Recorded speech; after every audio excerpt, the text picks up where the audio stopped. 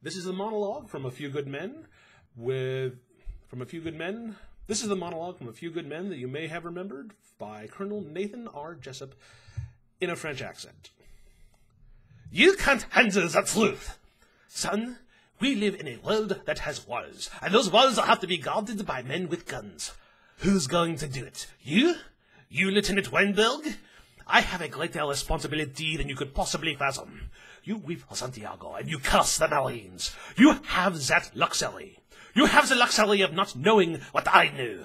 That Santiago's death, while tragic, probably saved lives. And my existence, while grotesque and incomprehensible to you, saves lives. You don't want the truth, because deep down in places you don't talk about at parties, you want me on that wall. You need me on that wall. We use words like honor, code, loyalty. We use these words as the backbone of a life spent defending something. You use them as a punchline.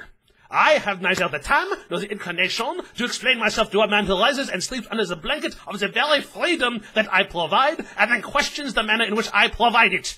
I would rather you just said thank you and went on your way. Otherwise, I suggest you pick up a weapon and send a post. Easier way, I don't give a damn which you think you are entitled to. You're goddamn right I did. Thank you.